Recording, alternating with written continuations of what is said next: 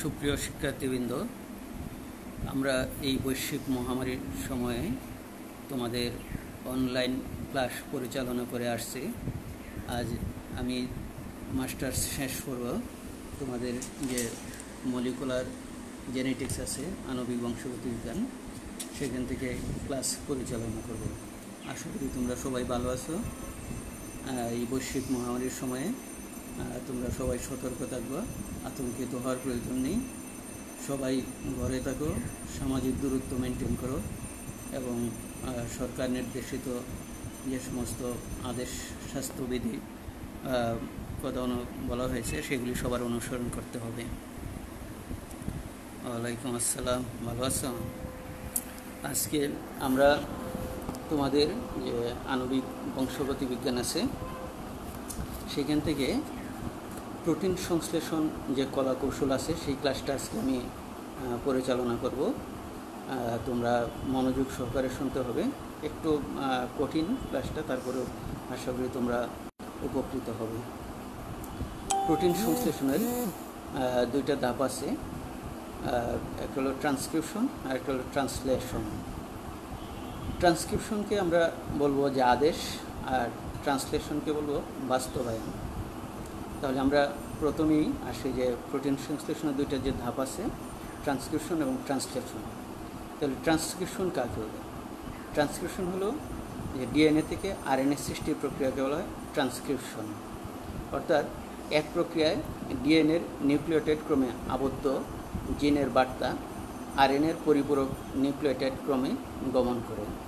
Enzyme বা protein সংশ্লেষণের জন্য তিন রকমের আরএনএ প্রয়োজন হয় এমআরএনএ আরএনএ এবং টিআরএনএ।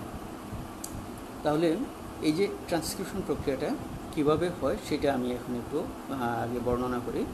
প্রথমে বলছি যে ডিএনএ থেকে আরএনএ সৃষ্টির প্রক্রিয়াকে কেবল ট্রান্সক্রিপশন বলা হয়। এখন প্রোটিন সংশ্লেষণের জন্য তিন রকমের আরএনএ প্রয়োজন হয়। এমআরএনএ আর আরএনএ টিআরএনএ ঠিক আছে? আমরা আরেকটু বলি যে আরএনএ প্রধানত দুই প্রকার। Genetic RNA non genetic RNA আমাদের এখানে নন জেনেটিক আরএনএ প্রয়োজন হয়, সেটি তিন প্রকার এমআরএনএ আরআরএনএ টিআরএনএ তাহলে আমরা ট্রান্সক্রিপশন প্রক্রিয়াটা কীভাবে ঘটে, সেটা আমরা একটু এখন বর্ণনা করি। আমি চিত্র দেখে দেখে তোমাদেরকে একটু বলি। এটা চেঞ্জ হয় না কেন? দেখো ট্রান্সক্রিপশন প্রক্রিয়াটা কীভাবে ঘটে? আমি চিত্র দেখে দেখে তোমাদেরকে বলি। এই যে ট্রান্সক্রিপশন প্রক্রিয়ার, প্রথমেই কুর যে এনজাইম আছে আরএনএ পলিমারেজ এই আরএনএ পলিমারেজ কুর এনজাইম এর সাথে sigma factor promoter sigma factor যুক্ত হয়ে আরএনএ পলিমারেজ কমপ্লেক্স সৃষ্টি করে। আমি আবার বলছি প্রথমে কুর এনজাইম আরএনএ পলিমারেজের সাথে প্রোমোটার সিগমা ফ্যাক্টর যুক্ত হয়ে আরএনএ পলিমারেজ কমপ্লেক্স সৃষ্টি করে। মনে করা হয়, সিগমা ফ্যাক্টরটি জিনের আরএনএ সংশ্লেষণ খণ্ডের প্রারম্ভিক বিন্দু নির্বাচন করে। অর্থাৎ ডিএনএ থেকে যে আরএনএ সৃষ্টি করবে, সেটার প্রারম্ভিক বিন্দু কোনটা? সেইটাকে তোমার নির্বাচন করতে সহায়তা করে সেই সিগমা ফ্যাক্টরটি এবং এই যে ডিএনএ দ্বিসূত্রক সেই দ্বিসূত্রক ডিএনএ ডাবল হেলিক্সের পাক খুলে আরএনএ সংশ্লেষণ করার কাজে আরএনএ পলিমারেসকে সহায়তা করে। তাহলে আমি কি বলছি? আবার একটু ব্যাক করি। প্রথমে ক্রুর যে এনজাইম আছে আরএনএ পলিমারেজ, এর সাথে প্রোমোটার বা সিগমা ফ্যাক্টর যুক্ত হয়ে আরএনএ পলিমারেজ কমপ্লেক্স সৃষ্টি করে। মনে করা হয় এই সিগমা ফ্যাক্টরটি জিনের অর্থাৎ ডিএনএর আরএনএ সংশ্লেষণ খণ্ডের প্রারম্ভিক বিন্দু নির্বাচন করে এবং ডিএনএ যে ডাবল হেলিক্স আছে, সেই ডাবল হেলিক্সের পাক খুলে আরএনএ সংশ্লেষণ শুরু করার কাজে আরএনএ পলিমারেজকে সহায়তা করে। ঠিক আছে? তারপর দেখো যে ডিএনএর একটি সূত্রকে, অর্থাৎ তিন পাঁচ সূত্রটিকে সাস হিসাবে ব্যবহার করে। আমরা জানি যে ডিএনএ দুইটা সূত্র, পাঁচ তিন তিন পাঁচ অ্যান্টিপ্যারালাল থাকে। এই দুইটা সূত্রের এক, যে তিন পাঁচ সূত্র আছে, এই যে তিন পাঁচ, এই তিন, ঠিক আছে? এই যে তিন, এই তিন, এদিকে দেখো পাঁচ। এই তিন পাঁচ সূত্রটাকে সাজ হিসাবে ব্যবহার করে আর আরএনএ সংশ্লেষিত হয়। ঠিক আছে? এখন আরএনএর পাঁচ প্রান্ত থেকে তিন প্রান্তের দিকে ট্রান্সক্রিপশন শুরু হয়। এই ট্রান্সক্রিপশনের কাজে এটিপি এবং জিটিপির প্রয়োজন হয়। ট্রান্সক্রিপশন অঞ্চলটিকে তখন কি একটু ফোলা ফোলা অর্থাৎ বুদবুদের মতো মনে হয়। তাহলে আমরা বলছি যে দ্বিসূত্রক যে ডিএনএ আছে, সেই ডিএনএর একটি সূত্রকে তিন পাঁচ সূত্রটিকে ছাঁচ হিসাবে ব্যবহার করে আরএনএর সংশ্লেষণ শুরু হয়। আরএনএর পাঁচ প্রান্ত থেকে তিন প্রান্তের দিকে ট্রান্সক্রিপশন শুরু হয়। এই কাজে এটিপি এবং জিটিপির প্রয়োজন হয়। তখন ট্রান্সক্রিপশন অঞ্চলটিকে বুদবুদের মতো মনে হয়। আমরা যখন দেখলাম যে ডিএনএ সংশ্লেষণ হয়, সেখানেও আমরা দেখছি যে তোমার পাঁচ প্রান্ত থেকে তিন প্রান্তের দিকে কী শুরু হয়? ট্রান্সক্রিপশন শুরু হয়। ট্রান্সক্রিপশন শুরু হওয়ার পর যখন এই ডিএনএ থেকে আরএনএ সৃষ্টি হয়, শুরু হয় শুরু হওয়ার পর তোমার এই যে সিগমা যে ফ্যাক্টর আছে, এই সিগমা ফ্যাক্টরটি কী হয়? ট্রান্সক্রিপশন শুরু হওয়ার পর সিগমা ফ্যাক্টরটি আলাদা হয়ে যায়। দেখো, এই যে সিগমা ফ্যাক্টর কি? অবমুক্ত বলা হইতেছে যে যখনই ট্রান্সক্রিপশন শুরু হলো, তখন সিগমা ফ্যাক্টরটি কী হয়? সেটা অবমুক্ত হয়ে যায় যে সিগমা ফ্যাক্টর ঠিক আছে? তাহলে আমরা বলছি যে ট্রান্সক্রিপশন শুরু হওয়ার পর সিগমা ফ্যাক্টরটি আলাদা হয়ে যায়। এবং আরএনএ পলিমারেজ দ্বারা পর্যায়ক্রমে শ্বাসের পরিপূরক রাইবোনিউক্লিওটাইড যুক্ত হয়ে চেইনের বৃদ্ধি ঘটতে থাকে। অর্থাৎ যখন ডিএনএ থেকে আরএনএ সৃষ্টি শুরু হলো তখন এই সিগমা ফ্যাক্টরটি কী হলো? মুক্ত হয়ে গেল। এবং আরএনএ যে পলিমারাজ আছে, সেই পলিমারেজ দ্বারা পর্যায়ক্রমে শ্বাসের পরিপূরক রাইবোনিউক্লিওটাইড যুক্ত হয়ে এবং চেইনের বৃদ্ধি করতে থাকে। আমি একটু দেখাই দিই, চেইনের বৃদ্ধি করতে থাকে। এই যে দেখো তোমাদের। আবার এটা। এই যে তোমাদেরকে আগেও দেখানো হয়েছিল যে গঠন আস্তে আস্তে আস্তে আস্তে কী হয়? এই যে দেখো, চেইনের কী হয়? বৃদ্ধি করতেছে ঠিক আছে? এই চেইনের বৃদ্ধি ঘটে। ওকে, আমি একটু দেখাই নিলাম এটুকু। তারপর দেখো যে আমি একটু আগেই বললাম যখন ট্রান্সক্রিপশন শুরু হয়, তখন কী হলো? সিগমা ফ্যাক্টরটি অবমুক্ত হলো এবং আরএনএ পলিমারের দ্বারা পর্যায়ক্রমে সাঁচের পরিপূরক রাইবোনিউক্লিয়েটে যুক্ত হয় এবং চেনের বৃদ্ধি করতে থাকে। এখন, যে ডিএনএ বা জিন থেকে আরএনএ ট্রান্সক্রিপশন শুরু হয়, তার শেষের দিকে যে ব্যাসক্রম আছে, সেখানে সমাপ্তি সংকেত প্রদান করে। অর্থাৎ, আমার তো এই যে দ্বিসূত্রক ডিএনএ ছিল, তাহলে এই যে দ্বিসূত্রক ডিএনএ সেখান থেকে আরএনএ সৃষ্টি হবে। যখন এই আরএনএটা আস্তে আস্তে সৃষ্টি হলো, তখন তার যে শেষের দিকে এইটা বলা হয় টার্মিনেশন অঞ্চল, ঠিক আছে? অর্থাৎ সমাপ্তি অঞ্চল। এখন যে ডিএনএ বা জিন থেকে তোমার আরএনএ ট্রান্সক্রিপশন শুরু হয়, তার শেষের ব্যাসক্রম, অর্থাৎ এই অঞ্চলে এখানে কি হয়? তোমার সমাপ্তি সংকেত প্রদান করা হয়। সমাপ্তি সঙ্গে প্রদান করে মানে কি বলা হয় যে, ওকে একটা আরএনএ সৃষ্টি হওয়া শেষ হয়েছে, এবার আরএনটা মুক্ত হইতে হবে। মনে করা হয় তোমার রো ফ্যাক্টর এ সময় আরএনএ পলিমারেজের সাথে যুক্ত হয় এবং আরএনএকে মুক্ত করে দেয়। তাহলে এই যে দ্বিসূত্র ডিএনএ ছিল, এই দ্বিসূত্র ডিএনএ থেকে এই আস্তে আস্তে কি হয়, তোমার আরএনএ সৃষ্টি হয়। এই যে দেখো এমআরএনএ সৃষ্টি হলো। যখন এমআরএনটা একেবারে সৃষ্টি হওয়া শেষ হয় তখন এই টার্মিনেশন অঞ্চলে একটা সমাপ্তির সঙ্গে প্রদান করে যে ওকে স্টপ ইট তখন করে কি? রো ফ্যাক্টর আছে। এই যে দেখো টার্মিনেশন সিগন্যাল বা রো এই যে রো ফ্যাক্টর ঠিক আছে? এই রো ফ্যাক্টরটা কী হয়? আর আরএনএ পলিমারেজের সাথে যুক্ত হয়ে এবং আর এন আরএনএকে মুক্ত করা হয়, মুক্ত করে দেয়। যখন আর আরএনএ মুক্ত হয় এই মুক্ত আরএনএ পলিমারেজ আবার পুনরায় করে কি ট্রান্সক্রিপশনে সহায়তা করে। এখন আদিকুশের আদিকুশে যে আমরা এখন যে বর্ণনা করলাম সেটা এই উপায়ে ট্রান্সক্রিপশন ঘটে। প্রকৃত কোষের ট্রান্সক্রিপশন প্রক্রিয়াও একই রকম, তবে এই ক্ষেত্রে তোমার তিনটি পলিমারেজ এনজামের প্রয়োজন হয়। পলিমারেজ, আরএনএ পলিমারেজ ওয়ান, ঠিক আছে? তারপরে আরএনএ পলিমারেজ টু এবং আরএনএ পলিমারেজ থ্রি প্রয়োজন হয়। এখন এই যে ট্রান্সক্রিপশন কাজটা, এই ট্রান্সক্রিপশন কাজটা কি অত্যন্ত দ্রুত গতিতে সমাপ্ত হয় এবং প্রতি মিনিটে প্রায় চল্লিশ থেকে পঞ্চাশটি নিউক্লিওটাইড যুক্ত হয়। এখন এই যে তোমার অ্যামারনের সৃষ্টি হয়েছে, সৃষ্ট অ্যামারনের ফাইভ প্রান্তে একটি প্রারম্ভিক কোডন এইউজি এবং থ্রি প্রান্তে সমাপ্তি কোডন ইউ ইউ এ বা ইউএজি ইউ বা ইউজিএ অবস্থান করে। প্রকৃত কোষের আরএনএ নিউক্লিয়াসের সংশ্লেষণ হয় এবং সেখান থেকে সাইটোপ্লাজমে গমন করে প্রোটিন সংশ্লেষণে অংশগ্রহণ করে।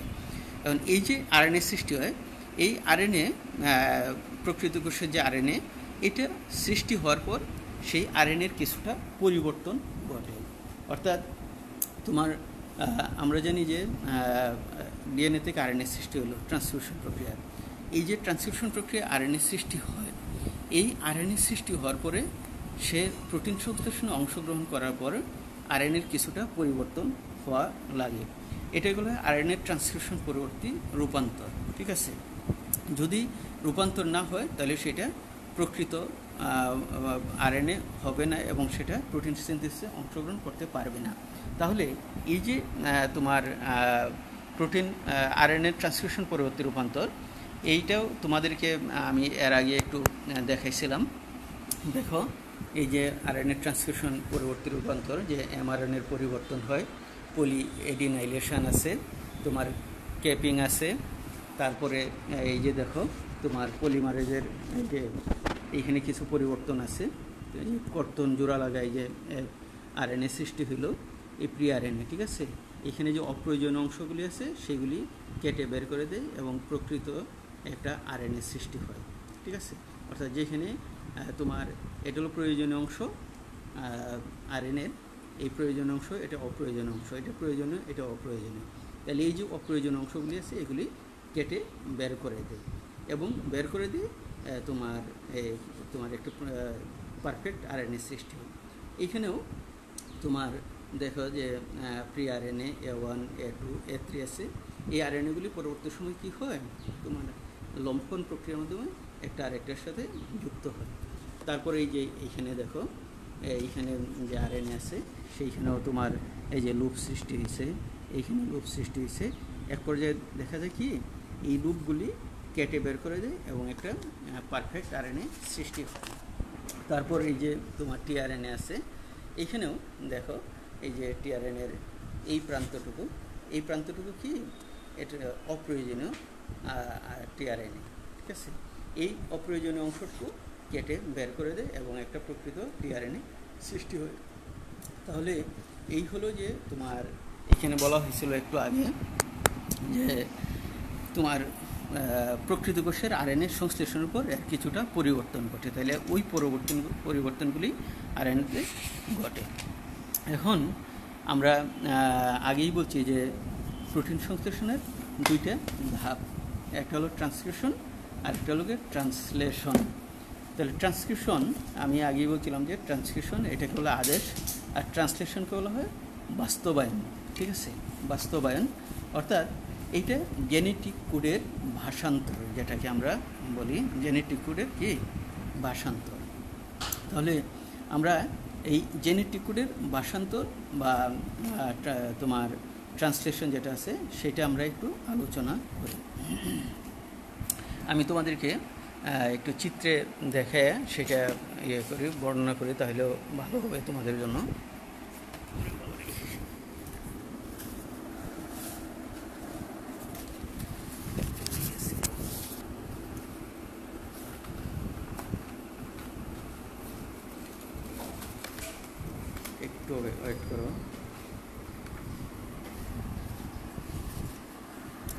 দেখো,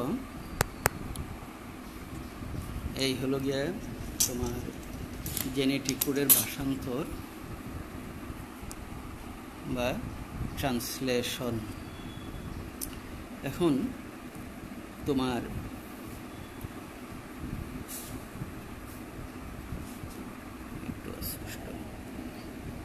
দেখো যে আমরা জিন অর্থাৎ ডিএনএর যে কোড আছে, তো তার এমআরএনএর কোডনের বার্তা নিম্নলিখিতভাবে অ্যামাইনো অ্যাসিডে ভাষান্তরিত হয়ে পলিপেপটাইড বা প্রোটিন সংশ্লেষিত হয়।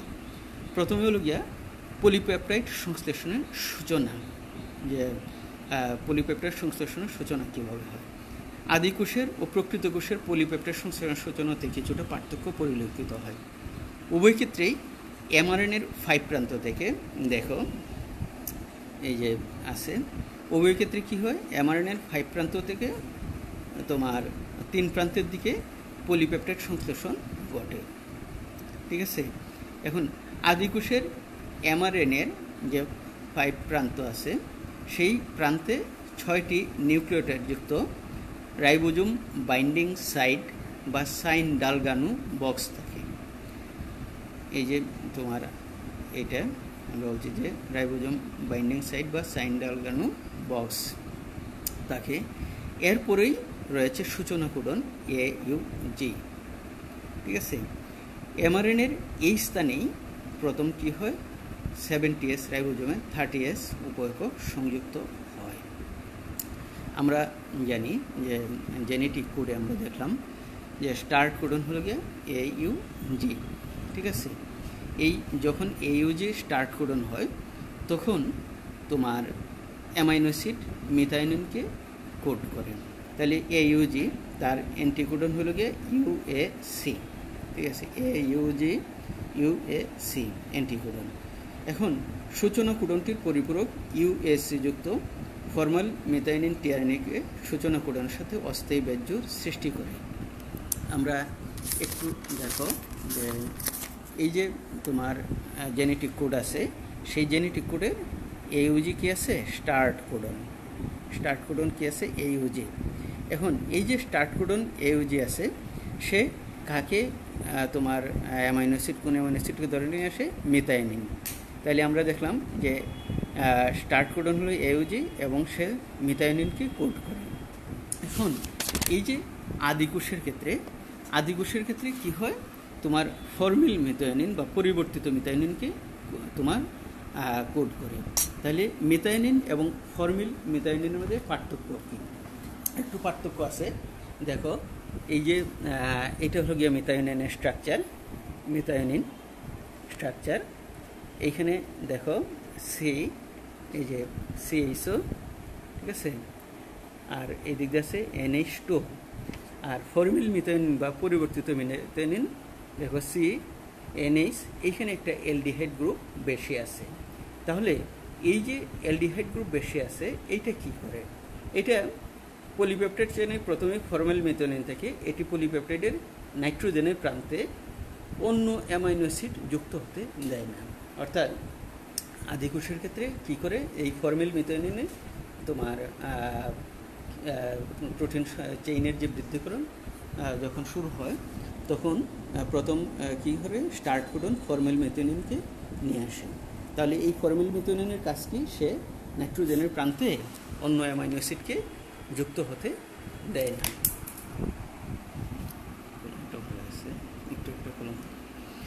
দেখো, তাহলে আমরা প্রথম বলছি যে সূচনা কোডনটির পরিপূরক তোমার সূচনা কোডন আমরা আগেই বলছি যে স্টার্ট কোডন, এই তোমার জেনেটিক কোডে এই যে আছে সেখানে দেখাইলাম। সেই স্টার্ট কোডন করে কি তোমার তার অ্যান্টিকোডন হলো ইউএসসি এবং সেই করে কি ফর্মেল মিথোনিনকেও আদি ক্ষেত্রে পরিবর্তিত মিথোনিনকে ধরে নিয়ে আসে। তাহলে কী হয় যে সূচনা কোডনটির পরিপূরক অ্যান্টিকোডনযুক্ত ফর্মেল মিথোনিন সূচনা কোডনের সাথে অস্থায়ী ব্যাজ্য সৃষ্টি করে এই টিআরএনটি কেবল পরিবর্তিত অ্যামাইনো অ্যাসিড ফর্মেল মিথোনিন বহন করে। এরপর রাইবোজোম, তা রাইবোজোমের যে তোমার দুইটা উপএকক আছে, একটা ছিল থার্টি আর একটা ফিফটি এস উপএকক সেই ফিফটি এস উপএকটি থার্টি এস উপএককের সাথে যুক্ত হয়ে প্রায় গোলাকার সক্রিয় সেভেন্টি এস রাইবোজোম সৃষ্টি করে। এ সময় ফর্মিল মেথিওনিন টিআরএনএটি রাইবোজোমের পি সাইড থেকে তোমার দেখো পি সাইডে অবস্থান করে সরি যে পরিবর্তিত যে মিথিওনিন আছে পি সাইডে অবস্থান করে। A site amino acid site R P site হলো পেপটিডাইল সাইড। সূচনা ফ্যাক্টর নামক তিনটি প্রোটিন এই কাজে সহায়তা করে। এখন এই যে তোমার এ, কি কোথায় চাপ লাগল নাকি হ্যাঁ, ঠিক আছে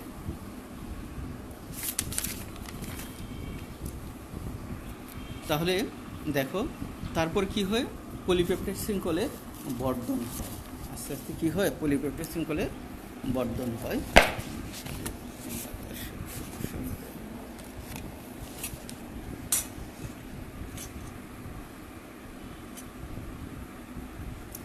তাহলে আমরা প্রথমেই দেখলাম যে কি হয়? যে প্রারম্ভিক কোডন আসলো এ ইউজে অ্যান্টিকোডন ইউএসসি সেখানে এই জেনেটিক কোড অনুযায়ী মিথোয়েনে নিয়ে আসছি। তাহলে পলিপ্যাপটাইড শৃঙ্খলের আস্তে আস্তে বর্ধন হবে, কারণ একটার পর আরেকটা অ্যামাইনো অ্যাসিড আসবে।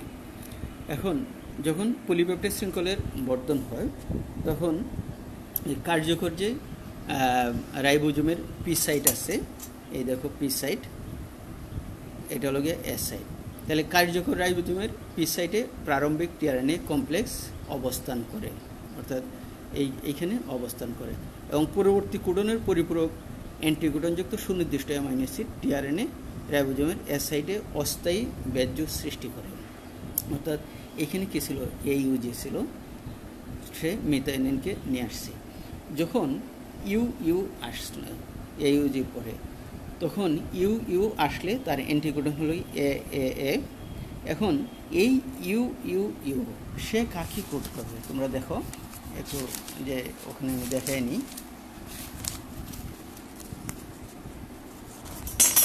দেখো, কি আছে এখানে? ইউ ইউ ইউ আছে না?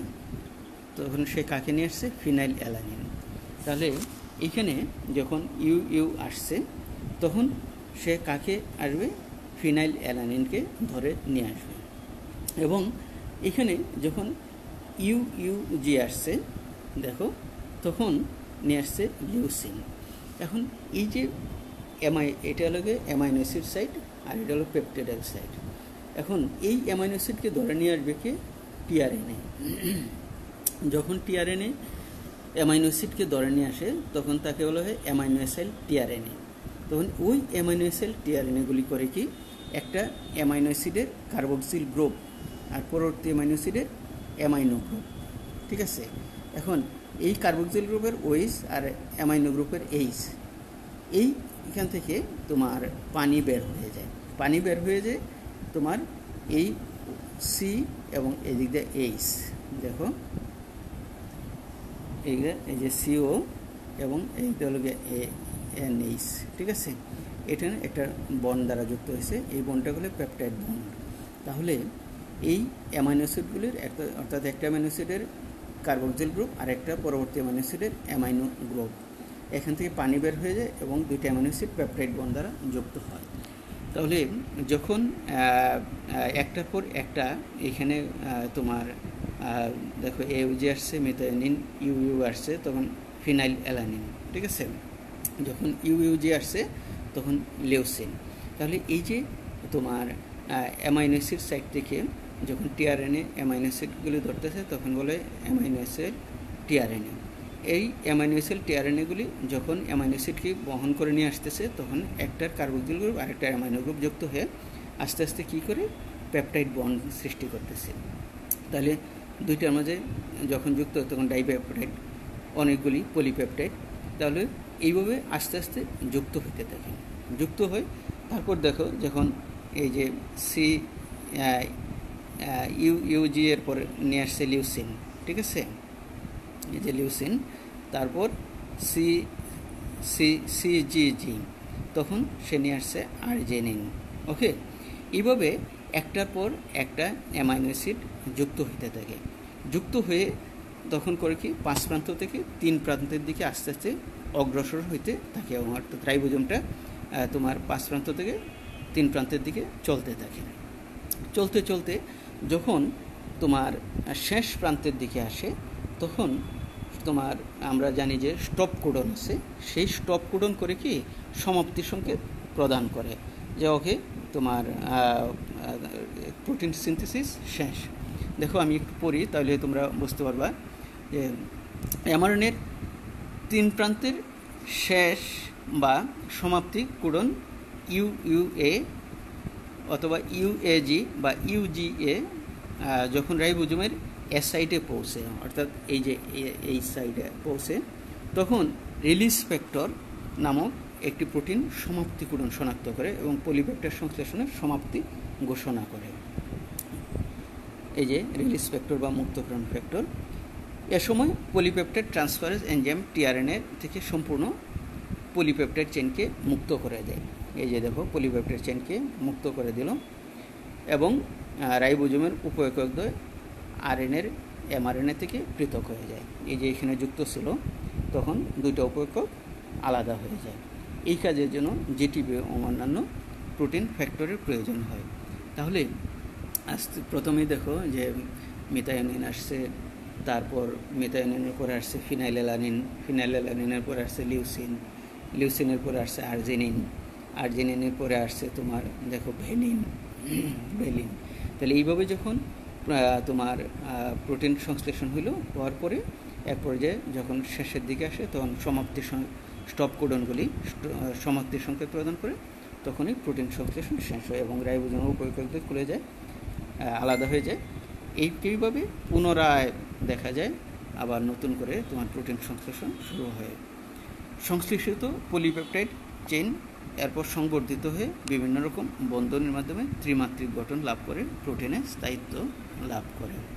তাহলে এই হলো তোমাদের প্রোটিন সংশ্লেষণের কলা কৌশল ট্রান্সক্রিপশন আর একটা ট্রান্সলেশন একটু কঠিন আজকের যে ক্লাসটুকু একটু কঠিন আগেই আমি বলছি। আমরা আজকে যে পড়লাম যে প্রোটিন সংশ্লেষণের দুটা ধাপ একটা হলো ট্রান্সক্রিপ ট্রান্সক্রিপশন আর একটা হলো ট্রান্সলেশন ট্রান্সক্রিপশন হলো গিয়ে আদেশ আর ট্রান্সলেশন হলো গিয়ে বাস্তবায়ন, অর্থাৎ জেনেটিক কোডের ভাষান্তর তোমরা আশা করি তোমরা ভালো থাকবে এবং বাসায় বসে একটু পড়ো।